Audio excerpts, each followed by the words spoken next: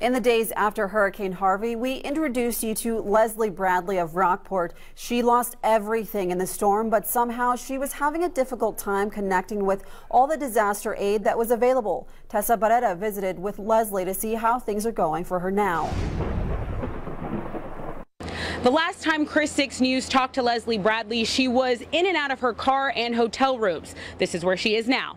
You know, we still had to kind of get ping ponged around with FEMA, kind of go back and forth to try to figure that out. But while we were doing that, a lot of people in Rockport stepped up to help us. People like Gary and Samantha Weatrek who provided Leslie and her family a place to live rent free, something you can tell Big Brother Caden appreciates. What did you think was going to happen after the hurricane? I didn't really know. I was pretty scared. I didn't really know what was going to happen. I didn't know where we were going to end up. Neighbors like Rockport realtor Kathy Tullis are providing moral support and a couple of gifts for Caden, Sean, and little Kiki. You could tell that her kids were her main focus. And then when we did get to meet her kids in person, they were just the cutest little things. Former server Leslie is a certified nurse's assistant. Kathy sees her potential. I'm helping her try to get a at least a part-time job in, in the nursing field.